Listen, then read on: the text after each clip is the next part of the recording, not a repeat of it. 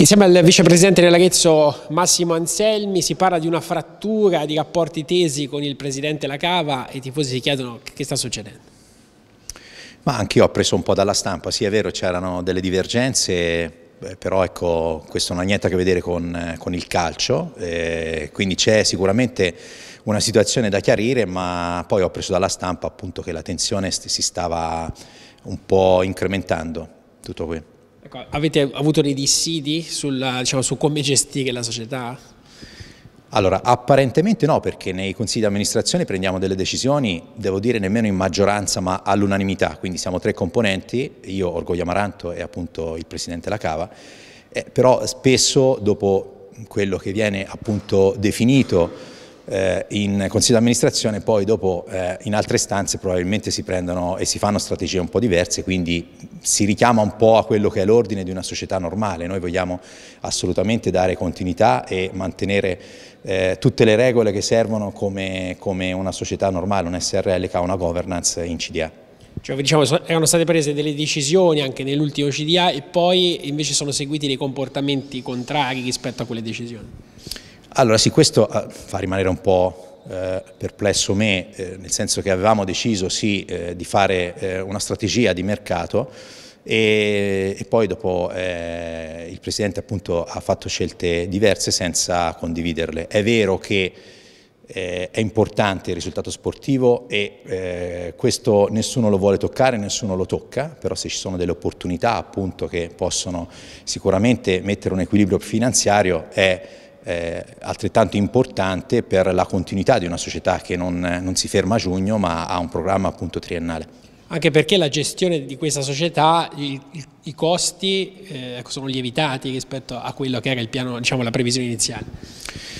Sì, è stato eh, sempre in crescendo questo, nel senso che il primo budget aveva un, diciamo, un obiettivo effettivamente molto contenuto, e poi c'è stata una rettifica in, eh, nel mese appunto di agosto, a, fine mercato, quando insomma, le situazioni erano definite, che, che, che poi è lievitato di, di, oltre un milione rispetto al budget dell'agosto. Quindi è ovvio che eh, è determinante e utile ponderare molto bene le scelte in questo momento. Quindi siamo sopra i 3 milioni in questo momento? Sì, siamo sopra i 3 milioni, circa 3 milioni e mezzo e Devo dire che eh, i presupposti iniziali erano appunto di alta attenzione finanziaria, eh, di società normale e comunque ci sono regole nelle società, nelle SRL che ci permettono appunto di stabilire quello che può essere un limite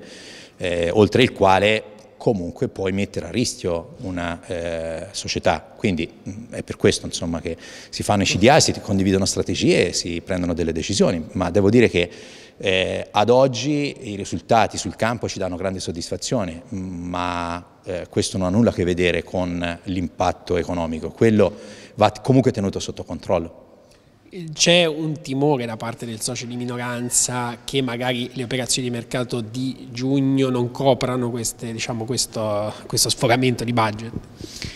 Ah no, rispetto alle dichiarazioni che sono state fatte dal eh, direttore generale mi, mi pare di no, però ecco, ancora dobbiamo fare un ulteriore consiglio di amministrazione che, che, ci possa appunto eh, permettere di fare il punto della situazione perché io ho solo appreso dalla stampa e dalle reti televisive appunto delle dichiarazioni del, del direttore che, che menzionano eh, circa 2 milioni per eh, due giocatori, però ecco io non ho prontezza e ero pronto eh, a, ad affiancare in tutto questo ma non, non, sono stato coinvolto.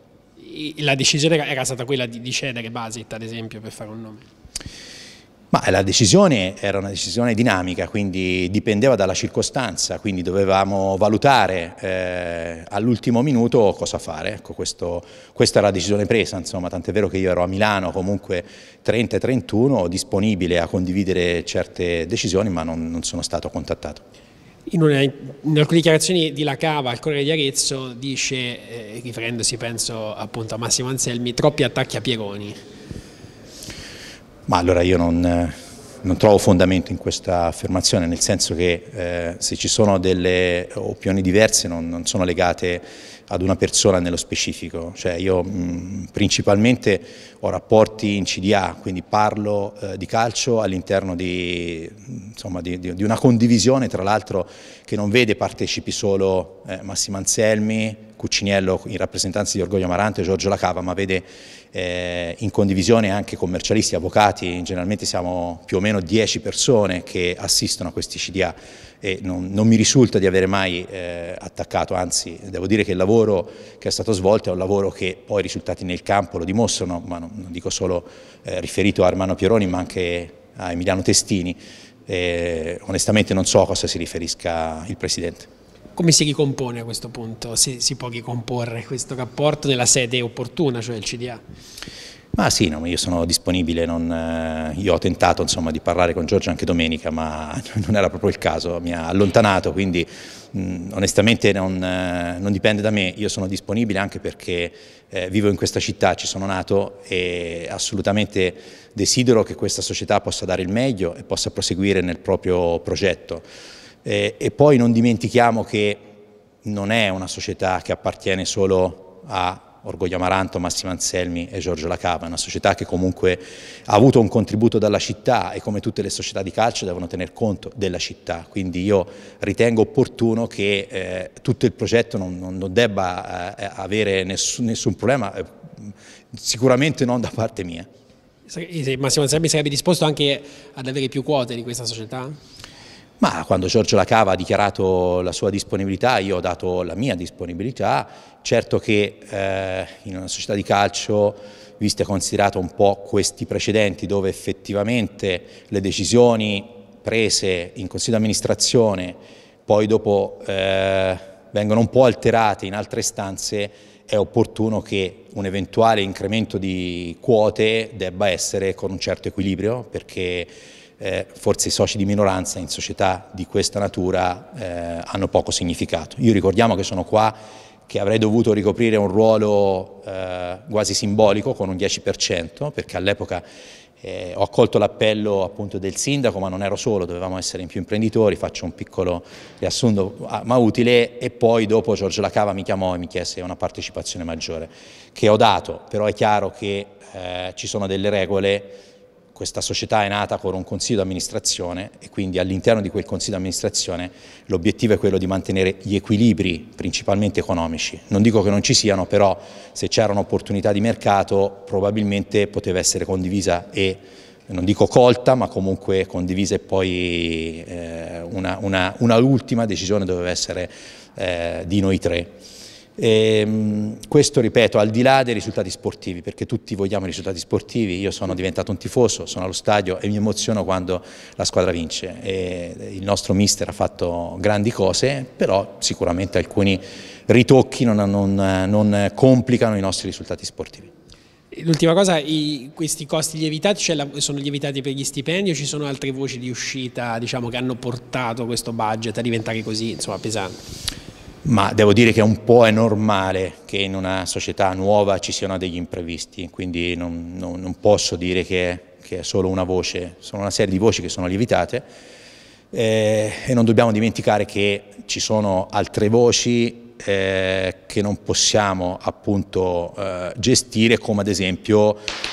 una ristrutturazione alle caselle, cioè noi abbiamo comunque bisogno di investire ulteriormente, quindi forse ecco, eh, il, il, il gruppo dei costi, la famiglia dei costi della mm, squadra, quindi dei giocatori, ha superato sicuramente quello che era l'obiettivo iniziale, probabilmente per un numero di giocatori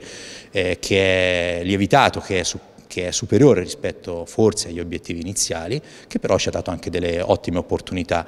è ovvio che in una situazione di mercato dove l'obiettivo dei mesi precedenti era fare un nuovo punto con il mercato di gennaio,